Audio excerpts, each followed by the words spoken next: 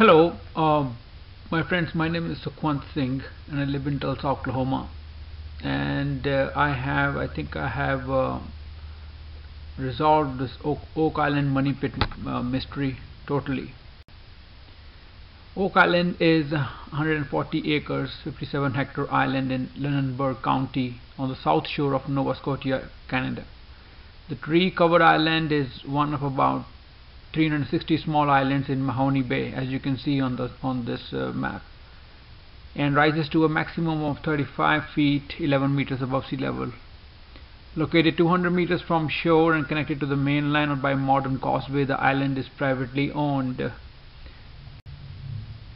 Oak Island is noted as the location of the so-called money pit and the site of over 200 years of treasure hunting Repeated excavations have reported layers of apparently man-made artifacts as deep as 31 meters. So what I'm trying to solve here is uh, this um, whole mystery of a money pit and what it is all about. As you can see there's a um, location of uh, Nova Scotia and the coordinates are given. Uh, I picked up uh, this stuff from Wikipedia. This is a picture of um, of one of these uh, shafts going down uh, as you can see it says 31 meters 102 feet. Just remember this uh, number 31 meters 102 feet. So most of the people and treasure hunters are aware of a money pit but I'll give you some background.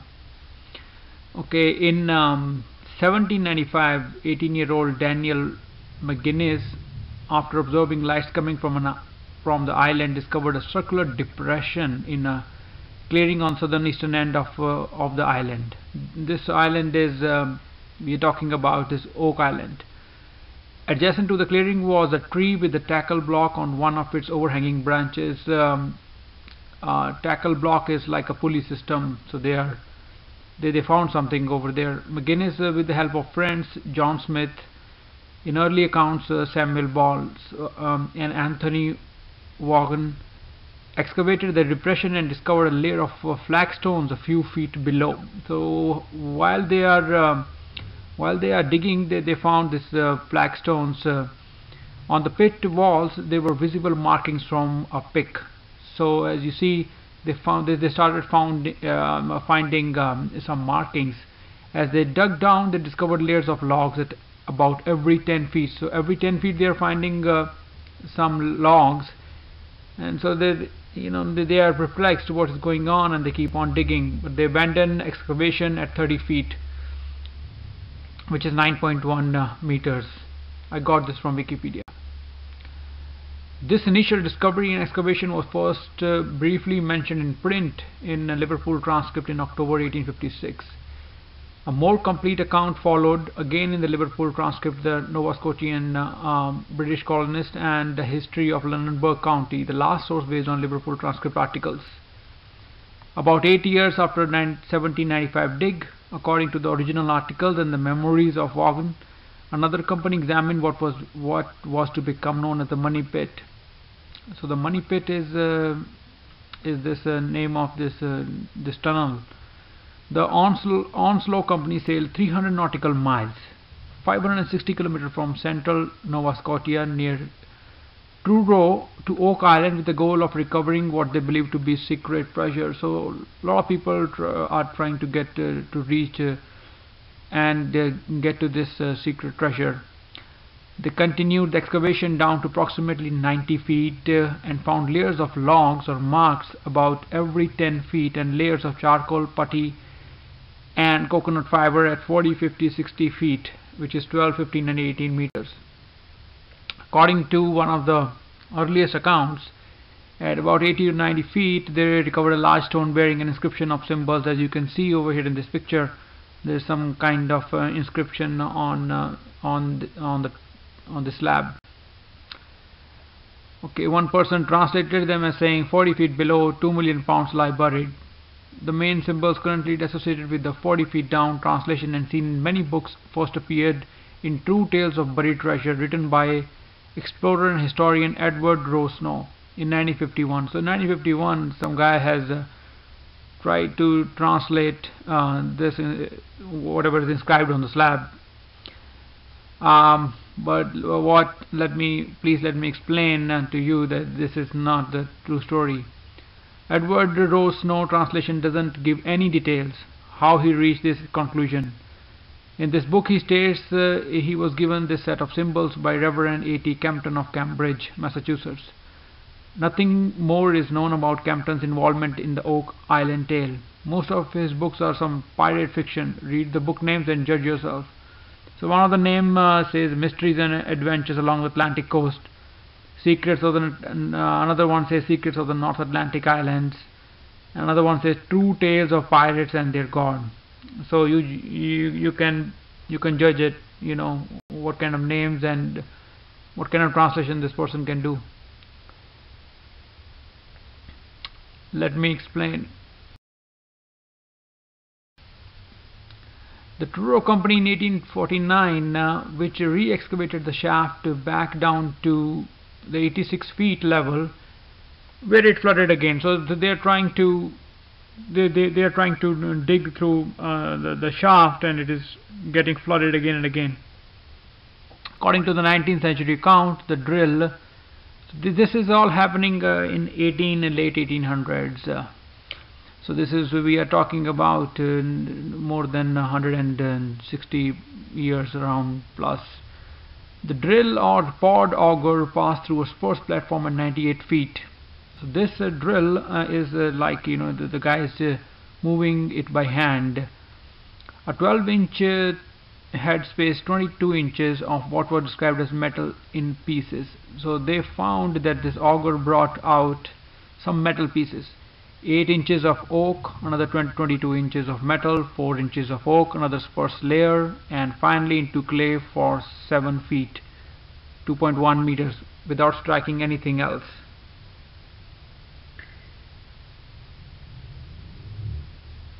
I want you to um, just take notice of this uh, this slide and look at the numbers. There has been wide-ranging speculation among enthusiasts as to who originally dug the pit and what it might contain. Later accounts say that oak platforms were discovered every 10 feet, but the earliest accounts simply say that the marks of some type were found at these places. They also said that there were tool marks or pick scraps uh, on the walls of the money pit and that the dirt was noticeably loose and not as hard packed as the surrounding soil. So just remember uh, this is very important uh, fact that uh, they are mentioning that uh, the dirt is uh, very and, soft it is not hard packed soil. One expedition uh, said they found the flood tunnel at 90 feet and that it was lined with flat stones. However, Robert Dunfield, a trained geologist, wrote that he carefully examined the walls of the re-excavated pit and, and was unable to locate any evidence of this tunnel. So one guy, Robert Dunfield, he he has done a um, lot of work and uh, found that there was no evidence of tunnel.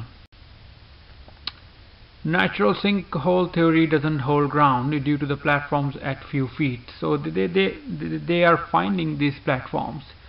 So it is not naturally um, made. Critics argue that there is no treasure and that the apparent pit is a natural phenomenon, likely a sinkhole and natural caverns.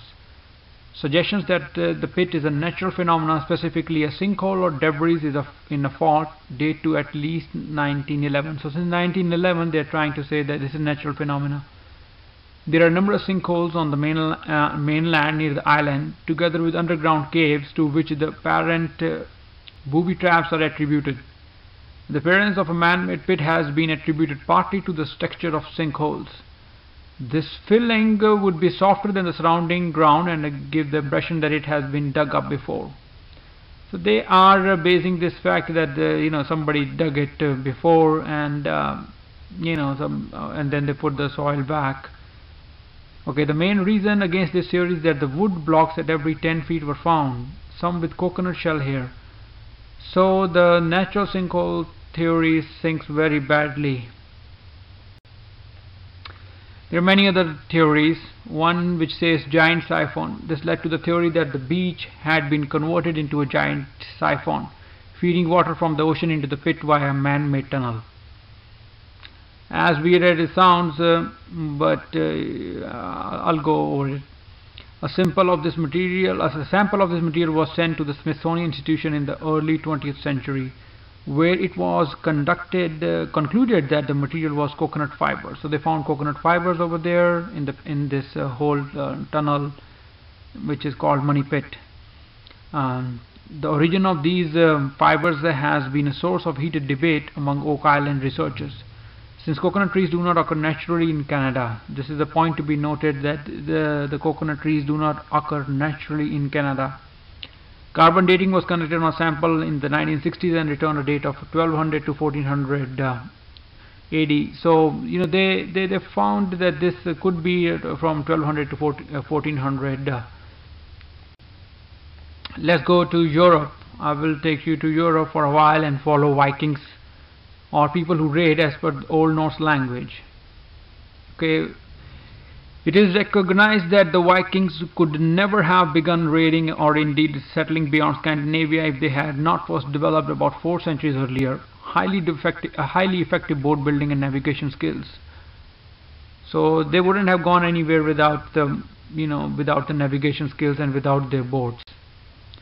The Vikings from from you know from Old Norse uh, is called Vikinger were seafaring North Germanic people who raided, traded, explored and settled in wide areas of Europe, Asia and North Atlantic islands from the late 8th century to the mid 11th century. 8th century is like 1790 and mid 11th century is uh, is like 10 uh, 1050 1080 something like that. So let's follow the route uh, to North America now as you can see over here um, this slide shows that they, they started from here in uh, in, um, in in their homeland and they are going from one island to another. They, they went to Greenland and went and touched the Baffin Islands and then they went down to um, to this Nova Scotia. Couple of other maps and options. Here you see this um, um Baffin Island. It shows on the left hand side on the top Greenland shows in the middle and you can see by the arrows where the Vikings went. Nova Scotia in the map on route of Vikings. So Nova Scotia is directly on, on the map where the Vikings had uh, have uh, had been. So they they traveled to the, these places. They also had like uh, some small boats and um, these small boats used to go from one small island to another island which was nearby. What was going on with the Vikings between the 9th century and 12th century? So between 9th and 12th century they made a lot of uh, voyages to faraway places. I'm going to explain in detail. You know this theory, this uh, this money pit is going on for um, 300 around 300 years, um, so 200 200 plus years easily so it will take me some time to explain uh, so I'm, I'm want to be as detailed as possible so that once and for all I put this thing to rest and the mystery is solved. Geographically a Viking age may be assigned not only to Scandinavian lands which is modern Denmark, Norway and Sweden but also to territories under North Germanic dominance. Mainly the, the Danelaw including Scandinavian York the administrative center of the remains of the kingdom of uh, Northumbria parts of Mercia and East Anglia. Viking navigators opened the road to new lands northwest and east, resulting in the foundation of independent settlements in the, in the Shetland, Orkney and Faroe Islands, Iceland, Greenland and L'Anse aux Meadows. A short-lived settlement in, in Newfoundland. So just remember this L'Anse aux Meadows is a is a short-lived um, and then there's a short-lived settlement in Newfoundland which was around 1000 AD.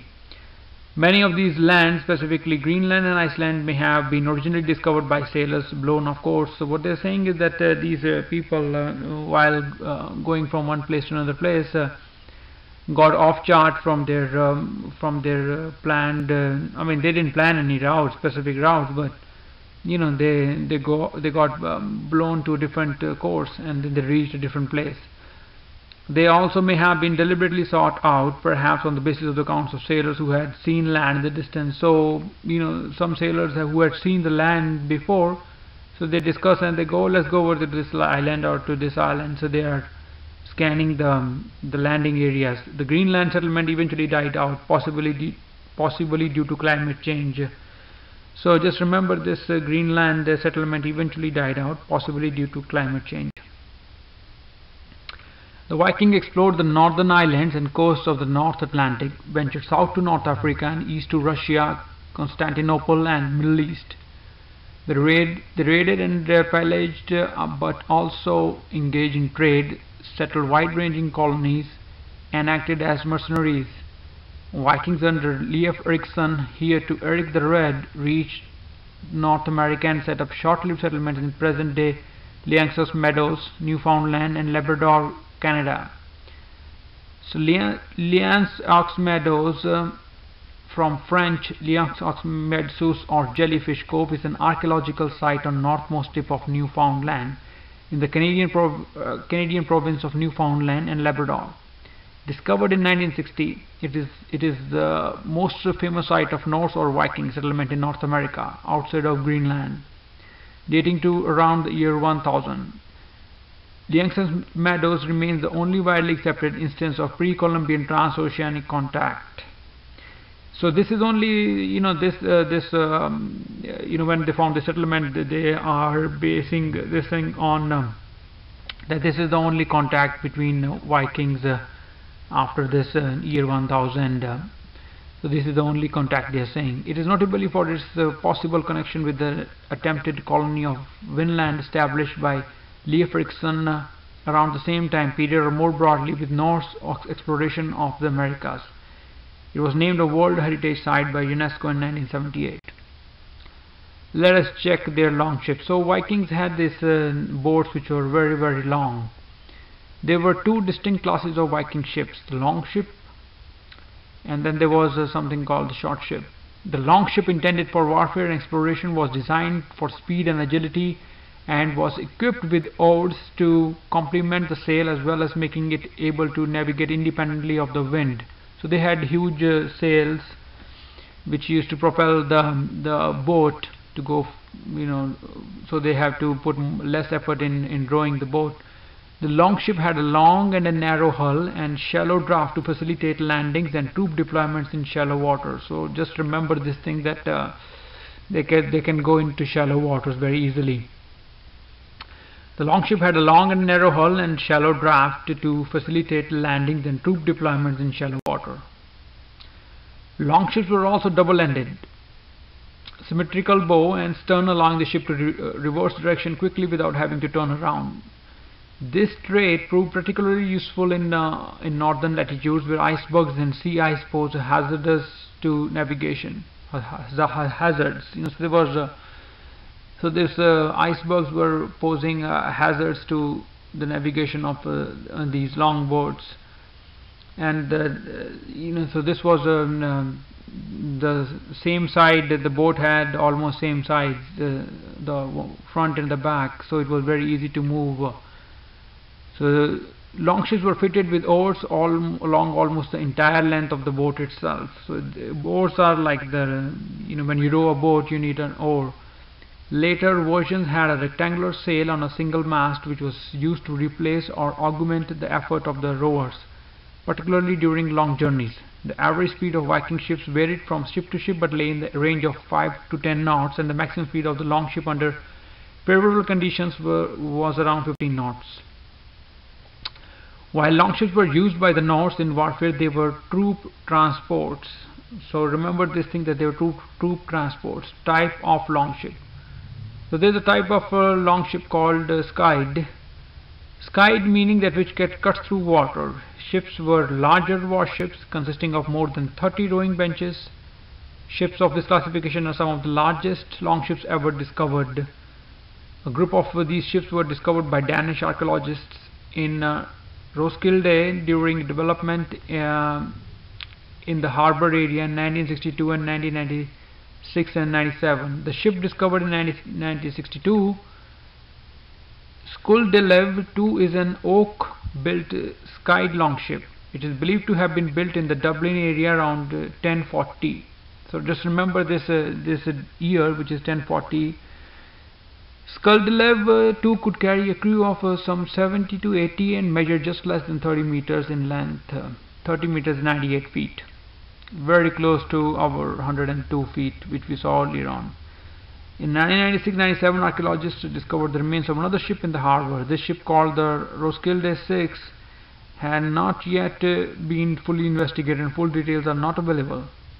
It is however thought to be around 36 meters, 118 feet. So they didn't, didn't they didn't had um, any specific template for the design. So just remember that they are making the boats whatever they saw earlier on. They are basing it uh, the, the boat they which are already been built. They're the next boat is ba based on on that type of design, but there's no template. There's no measurement thing, and has been dated to to the mid 11th century, which is about like 1050 AD Remember that uh, repeated excavations have reported layers of apparently man-made artifacts as deep as 31 meters. So when they keep on digging this uh, so-called money pit, they are till about 102 feet. They they keep on finding uh, artifacts like something is like something is, is buried there, but it is not.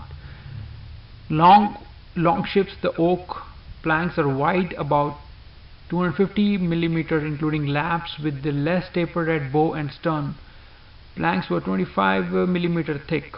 The 26 heavy frames are spaced at 850 millimeter in the center. Each frame tapers from the turn of the bilge to the inwale. This suggests that the knees were used to brace the upper two or three topside planks but appear to have rotted away. The hull had um, a distinctive leaf uh, shape with the bow sections much narrower than the stern quarters. There were nine wide uh, planks per side. So as you see over here from the middle of this mast, uh, there were nine on the one side and nine on another. So remember that uh, when they're digging um, this uh, so-called money pit, they they about they dig it to, to they, they dig it to, about like 90 feet which is uh, almost approximately what it is mentioned over here like 9 planks per side. The Viking shipbuilders had no written diagrams or standard di written design plan. The shipbuilders pictured the long ships before its construction. Based on previous builds and the ship was then built from the keel up. The keel and, and stems were made first. The shape of the stem was based on segments of circles of varying sizes. The keel was an inverted T-shape to, to accept the gar garboard planks.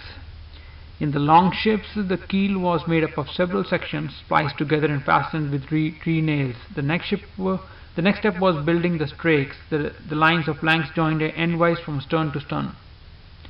Nearly all long ships were clinker, also known as a lap strake built, meaning that each hull plank overlapped the next. Each plank was hewn from an oak tree so that the finished plank was about 25 millimeter thick and tapered uh, along each edge to the thickness of about 20 millimeter. The planks were, were readily hewn so that the grain is uh, approximately at right angles to the surface of the plank. This provides maximum strength and even bend and even rate of even rate of expansion and contraction in water. The hull is made as such uh, with this clinker uh, clinker oak uh, planks so that uh, you know they can move a little bit uh, uh, if, if, they have to in, in, while going in on a voyage in the water. Where long timber was not available or the ship was very long, the planks were butt joined, although overlapping scarf joints fixed with nails. As the planks reached the desired height, the interior frame, uh, which is called futtocks, and the cross beams were added. You can find all this thing in Wikipedia. I, I took uh, most of the details uh, from Wikipedia. Frames were placed so close uh, close together which is an enduring uh, feature of thin planked ships uh, still used today on some lightweight wooden racing crafts such as those designed by Bruce Farr. Viking boat builders used a spacing of about uh, 850 millimeter. Part of the reason for the spacing was to achieve the correct distance between rowing stations and to create space for the chests used by North sailors. So I'm, oh, anyway I'm going to the next slide in order to explain to you um, um, timber analysis of timber samples from Viking longboats showed in the second par paragraph if you see below it says that an analysis of timber samples from Viking longboats shows that a variety of timbers were used, but there were there, there was strong preference for oak, which was associated with Odin, Woden in, in Viking mythology. So just remember that uh, on, uh, you know the, what they found in the money pit is is something um, which has um, um, oak wood. So in Viking mythology, um, they are based on their mythology, they are using more and more oak in building their ships, in building their long long boats or long ship. Oak is a heavy, durable timber that can be easily worked by adze and uh, axe when when uh, green, wet, unseasoned. So when the oak is um, is not yet ready, they can uh, scrape off. It's easy to build okay the next the, the sail was held in place by the mast which was up to 16 meters tall. So remember this thing that is 16 meter tall which is uh, which is very tall um, um, not too tall but uh, but considerably tall um, sail. Its, its base was about uh, 25 uh, 250 millimeter to 180 millimeters. The mast was supported by a large wooden mast called kerling that was semicircular in shape. The kerling was made of oak and about 700 millimeter wide and up to 7 6 meter long in the uh, in the large ships. It's usually heavy, heavily tapered uh, into a joint with an internal uh, keelson, although keelsons were by no means universal. So what I'm trying to emphasize here is that uh, the design of the boat is not uh, they didn't have any template to to go on. So they just looked at the previous boat and they keep on building um, these boats these long ships. Long ships uh, were not fitted with benches. So one of the main um, this is one of another main points to be noted is long ships were not fitted with benches. So nobody was sitting on a bench and and rowing the boat just like uh, these days we sit on a bench in, in, a, in a boat uh, there were no benches earlier on in these long ships. When rowing the crew sat on sea chests so there were small chests uh, where they used to keep their stuff. That would otherwise take up space. The chests were made the same size as were the perfect height of for the Viking to sit on and row. So they used to sit on the small chests and uh, and then they were they had these panels on their back which were like log woods or oak panels you know longships had hooks for oars to fit into but smaller oars were also used with crooks or bends to be used as oar locks oar lock is like uh, where you put this uh, thing to to row the boat. If there were no holes then a loop of rope kept the oars in place. So uh, if they had no hole they, they used to just put uh, some um, rope around it and and um, like make a loop around the uh, around the around the oar.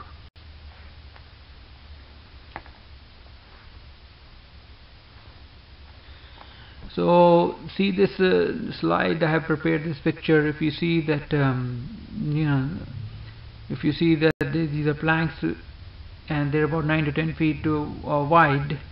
And the next slide I will show you how these uh, people used to sit. So the Vikings are sitting facing each other and as you can see in this picture like eight of them are, are, used to face each other. You know this is a, a, long boat where 70 to 80 people are riding on the boat and it, it takes considerable effort in order to row this kind of a boat.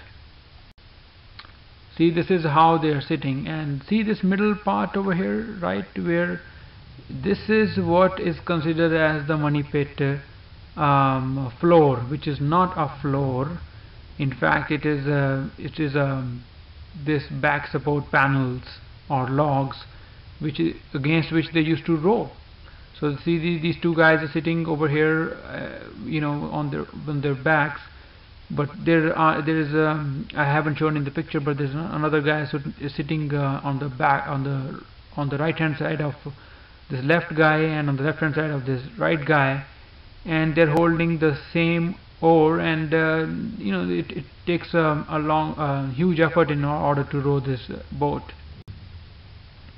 As you can see these back support wooden panels are wrongly considered as the floors. Explained below in detailed slides so I'm going to explain in very much uh, detail uh, that what it is all about. So if if I if I make this picture uh, vertical uh, this is horizontal picture then you will get a general idea what I'm trying to explain here. So so the floors of the money pit are not floors but these panels which are 9 to 10 feet apart. This is the main thing. Okay the Vikings used to put their backs on these and row with oars from the square holes. You can see the small square holes you know. This is a cross section I got from uh, from the internet. Uh, right next to the upper side of the boat as seen here. So you can see that uh, you know they have uh, this is how it used to be. Now let us visit the evidence. First three teen teenagers. The teenagers continued burrowing down. So these are the people who found the so-called money pit. They they followed the walls of the previous hole. In doing so, the boys found that the pit had narrowed to 7 feet in diameter. So it is not that wide. They also noticed that the work of the predecessors imprinted in the clay of the tunnel wall were the impressions of pickaxes. So they are thinking that somebody has already been there. Somebody had all already been uh, digging through this uh, uh, money pit, so-called money pit. But that is not true. Nobody, nobody went uh, and broke those uh, wooden um, wooden panels uh, in, in before these guys uh, started doing it. The the axe marks are uh, are the marks uh, you know from um, from the Vikings when they were using uh, it, as a boat. It, it is a boat you know. So what to expect more? You know they are using swords and axes in order to cut things and to make fish catch fish you know whatever they are doing you know. At the depth of 10 feet, the boys discovered a layer composed of rotting wood timbers. The timbers spanned the width of the hole, forming a wooden platform. The ends of the timbers had been driven into the sides of the tunnel wall to firmly anchor the structure. By all means, this structure is uh, not any money pit or any structure. Uh, this is mistakenly, this is mistakenly um, called so, um, but actually all these uh, timbers and uh, and the, the floors they are finding is are the wooden platform against which the Vikings used to sit and row the boat. So what I'm trying to say here is uh, is uh, the this is a boat which is uh, vertical. This is very important. This boat is vertically vertical and I will explain to you how it came into that position. As you will see in other, my couple of other slides just as before, the enthusiastic excavators were again disappointed. After taking out the, the barrier, the boys found a two-foot pocket of air followed by soil that had settled below. Tunneling down to approximately 20 feet, the boys encountered another level of wood timbers. Nevertheless, they continued toiling in the pit, removing one barrier after another in hopes to claim their mysterious reward. When the teenagers pulled away the second platform of wood timbers only to find another layer of soil staring back at them. At a depth of 30, 30 feet, one of the laborers hit a solid object. Removing the soil, the crew found that another timber level had been installed inside the tunnels. They keep on finding these, uh, they keep on finding these uh, uh, timber levels uh, of these uh, these floors, what they're calling floors. This time, however, the men noticed the remnants of charcoal scattered around the platform. The charcoal is uh, was used for for cooking something, you know. It is not it's not that thing is used by the Vikings. Digging 10 more feet, the enthusiastic men of the Onslow Company found themselves standing on yet another shelf of horizontal timbers. This time, rather than charcoal, the diggers observed a sap-like substance along the seams between the logs. The sap-like uh, thing is uh, to keep the water tight. Whatever was uh, stored beneath must have been worth the trouble of encapsulating the tunnel for protection. Burrowing another 10 feet, the team encountered something they would never have thought possible. Atop another platform, timber scattered the fibers of coconut shells. So they found coconut shells, and then they are thinking that somebody went uh, and uh, went down and did something over there, some something they, they hid over there.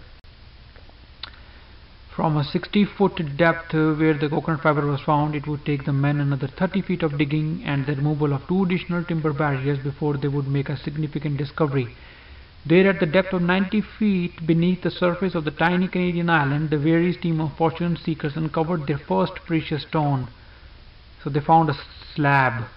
and the stone slab said something uh, which is actually is a most probably is a language from uh, the Baffinland area uh, from this uh, Nunavut region the, if, if, if you see in Wikipedia the, this is the same language which they use. You know Vikings were not carrying anything from from their homeland.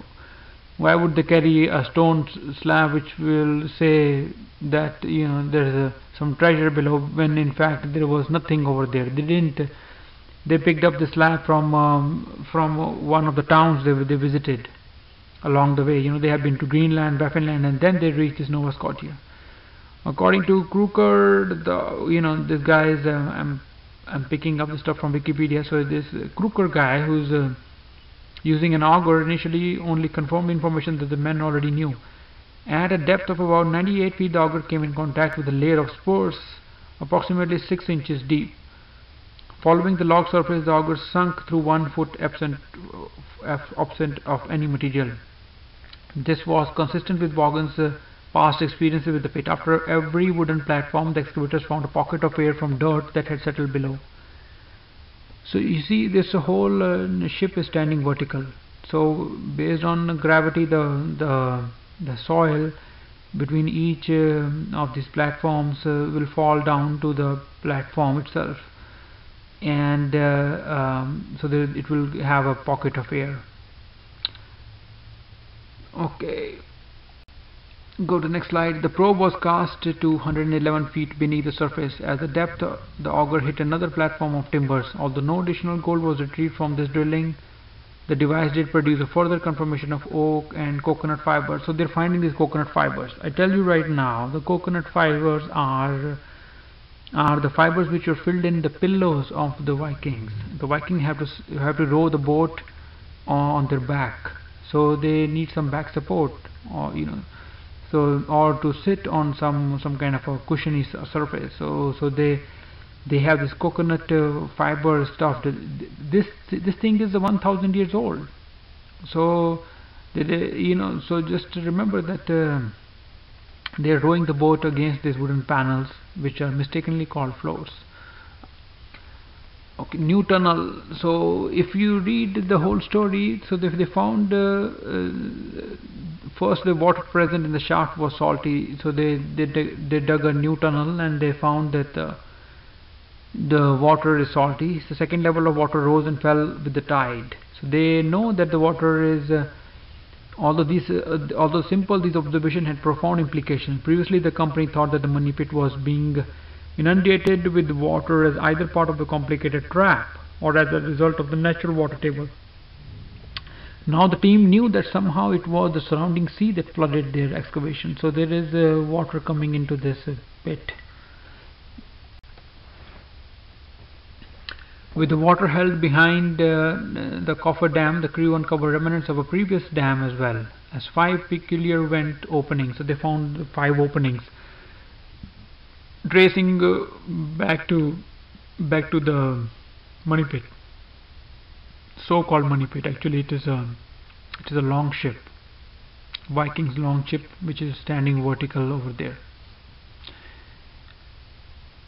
Okay so uh, at the depth of approximately 153 feet the drilling again uh, came in contact with what the team perceived to be a loose metal beneath the supposed metal of auger encountered the same iron barrier and could not descend any further. So by the by the end they, they reach uh, this auger range, uh, reached a, a, place where it cannot go any further. Why it cannot go any further is uh, simple. There is a there is a the, the metal uh, metal from the iron or the you know the for the at the to to join the end of the boat they had some metal pieces so this is so there is metal of course there is metal to be found and then there is uh, axes and uh, swords uh, of the Vikings. So so that is uh, what is uh, uh, if it is it is there this is what it is. The metal is from the axes and swords and the side of of the boat to to keep it joined joint at the one end. Please take a look at this um, this is a picture which is self uh, you know describing how the the shaft look like how the money pit, pit looks like. As you see over here um, they, found the slab over here and this is a picture from the from Oak Island money pit area. You can find this thing on uh, on in on Wikipedia or if you are a researcher on this subject you can uh, definitely pay attention to this okay this is how I have uh, made the boat horizontal. Please take a, look at this again. Okay you see this opening over here which is a tunnel the flood tunnel is actually the place where the shaft is for the mast you know for the for the mast of the boat.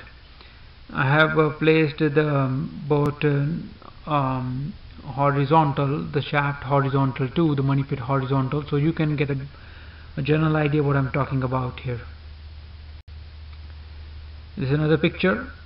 It, it shows the the uh, it shows um, see the the sail is holded by uh, timbers and this uh, this thing is this thing is what is uh, perceived as uh, as um, the five uh, you know tunnels which are feeding the money pit. Actually it is the ropes and the, the timber itself which is still clinging onto the boat. Uh, and for 1000 years it is uh, it, it was there and I'll explain to you in detail how it came over there. Okay you see this is uh, one of the pictures uh, I, I'm one picture I made um, uh, of this model of the boat um, just to demonstrate. As you, see, you can see where the mast is and where these panels are. This is a picture uh, taken from the top of this model which I'm going to use to explain later on. And this is the this is how it looks if you put it at put it vertically. This is if you if you were coming from the top which it looks like one one floor after another floor after another floor which is uh, which is not a floor but a panel against which Vikings used to put their backs and row the boat. So here is your solution right over here. I will explain you in detail much more in detail. You can see how they're sitting in one of these pictures I took from the internet and uh, so there are many so these are long longship this is uh, one of the longships they, they found uh, buried somewhere in Norway you can see how it is is one of the replicas somewhere. I took this picture from the internet. Okay why did the longship ended uh, deep inside? I will explain to you this uh, in, in detail as much as possible so there are no more theories about this thing. Okay actually it only moved by a few meters only that part of land was underwater and the longships were designed to go into shallow waters. Why there was water so deep inside? Here is the main reason. That part was underwater and very close to the beach at the time of medieval warm period. What is medieval warm period? How did the water reach that far? The, if you go on the internet and Wikipedia you can research this thing. The medieval warm period uh, was a time of warm climate in North Atlantic region that may also have been related to other climate events around the world lasting from about uh, 950 AD to 1250 AD. Just note the years over here. Despite substantial uncertainties, especially for the period prior to 1600 for which the data is, is scarce, the warmest period the warmest period of the last 2000 years prior to the 20th century were likely occurred between uh, 950 and uh, 1100 so this is a, a period when the when the water is uh, the water levels have risen. The ocean water will risen for a few inches. Hence the boat was able to go somewhere what deep looks like it is deep but it's, not that deep for the boat. Radiocarbon uh, uh, dated box core in, uh, in Sargasso Sea shows that the sea's surface temperature uh, was approximately 1 degree centigrade cooler than today approximately 400 years ago. So in uh, around 1600s uh, the sea temperatures were cooler and the cooler part is called a little ice age so there was uh, something called little ice age between 1200 and 1600 uh, AD. Uh, and 1700 years ago it was one degree warmer. 1700 years ago we are talking about uh, year 700 and onward um, 1700 is like um, uh, 1700 uh, is about 13 uh, 1700 years ago. 1000 plus 700 is about 300 uh, year 300 uh, approximately one, one degree centigrade warmer than today. Okay 1000 years ago the medieval warm period was about 1 1 degree centigrade warmer than today which is uh, why there was water on that island. Indeed, this is the main reason that global warming or global uh, climate change uh, is one of the examples of global uh, global climate change global warming. So the water from the from the Greenland and other uh, areas uh, the icebergs melted and it increased the water to go on the island uh, as I will explain to you more. Okay let us uh, see what was little ice age. So before that I want to emphasize that uh, between 1950 and 1250 uh, there was a period which was called warm medieval period when the water was 1 degree centigrade higher. And then later on from 1200 to 1600 uh, on, around that time it was called the little ice age. There is no consensus regarding the time uh, when the little ice age began. Although a series of events preceding the, the known climatic minima has often been referenced. In the 13th century pack ice began advancing southwards in the North Atlantic. So there are um, in the 13th centuries like uh, 1200 uh, year 1200 something pack ice began advancing southwards in the North Atlantic as did glaciers in the green in the Greenland. Anecdotal evidence suggests expanding glaciers almost worldwide based on radiocarbon dating of roughly 150 samples of dead plant material with roots intact collected from beneath ice caps of Baffin Island and Iceland. You know, one guy, Miller, he has written this account. He has done some research, it's on Wikipedia.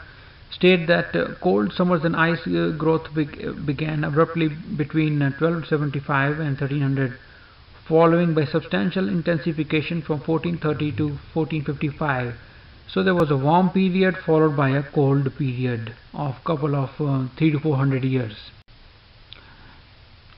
If you see this uh, uh, this graph from Wikipedia, this shows a warm medieval period which was about close to uh, if you see the close to 1000 year AD 1080 it is almost touching 2 degrees centigrade higher than the normal at the time. And the little ice age you can see it was uh, it was like um, one degree easily one degree um, one degree more uh, cooler than the current uh, um, current temperature at the time you can see the movement uh, of uh, so during the medieval uh, warm period the icebergs moved down. And uh, if you see you know I'm showing you the movement of uh, of uh, Vikings and also the move movement of this iceberg. So this whole area is pushed pushed down with this geolo geological transformation what happened to the longship's fate? The crew probably got killed fighting locals or went deep in the land to look for prosperity. They returned back to the ship with far fewer men to sail. Couldn't do it. Ship that long takes enormous effort to row. Ship is stranded at the landing site for the next 1000 years.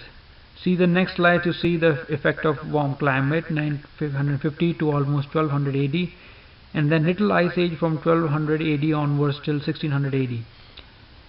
The ship is pushed upwards and the sail get broken and caverns are formed with loose soil and water underneath. The ship is still tight on the hull side and remained like that until the treasure hunters took treasure hunters broke the side of the hull and it collapsed due to age of the timber and oak. Affected also by the constant tunneling by treasure hunters of Money Pit. So the thing is that uh, you know th there was earlier on when the uh, medieval warm uh, period came there was uh, no water on the on that part of of the island.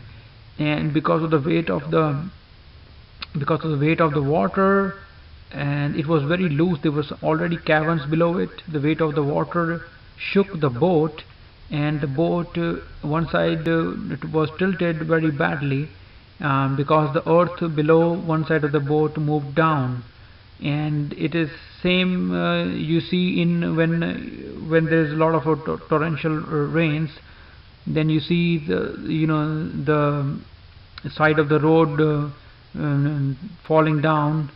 You know you can see small sinkholes and uh, you can see the effect of of weather. You know you can you know that the side of the roads go down same way if the boat was uh, if the when the boat was there the side of the island went down a little bit and then which uh, tilted the boat and it, it fell down. And tilted to one angle. This is what happened uh, you know this is uh, the the boat is uh, as you can see the boat um, the boat is uh, affected by the by the the break in that um, the break in in uh, in the caverns and the whole land goes down. As you can see the movement of icebergs and the boat is uh, slowly and slowly pushed down and it becomes vertical. Clay silt from the ocean current starts moving in depositing from the water currents and iceberg movements. Cavern formation due to push of the ground and soft sand and mud as this land was originally not under water a few hundred years before warm medieval period. Because it was not under water so when the water went on um, onto the onto the land it became uh, uh, heavy and it fell down which uh, made our boat go down. This is what happened to the longship's fate. So the longship uh, became vertical uh, and then the sail fell down and uh, the sail is still there and the sail ropes and timber um, for for centuries it is pushing into the soft sand and made some kind of a tunnels but it is actually the timber from in the sail. As you can see in this uh, diagram what happened direction of the sail and ropes fall throughout 800 years. So 800 years these ropes are pulled down into into the ocean and uh, it is not that far from uh, from where the boat is. So-called five tunnels are the placeholders on the sail and ropes attached to the sail. So these are the ropes attached to the sail which looks like the some some say there's a pumps five pumps which are uh, feeding the feeder system to the money pit guys I tell you right now this is not a feeder system. This is not any pump which is uh, feeding the boat on the money pit it is the sail and it is the ropes which are which are have pulled through soft sand. And for centuries after medieval warm period after ice age they have made some kind of a, uh, area around them which is hardened and looks like uh, water is seeping through it.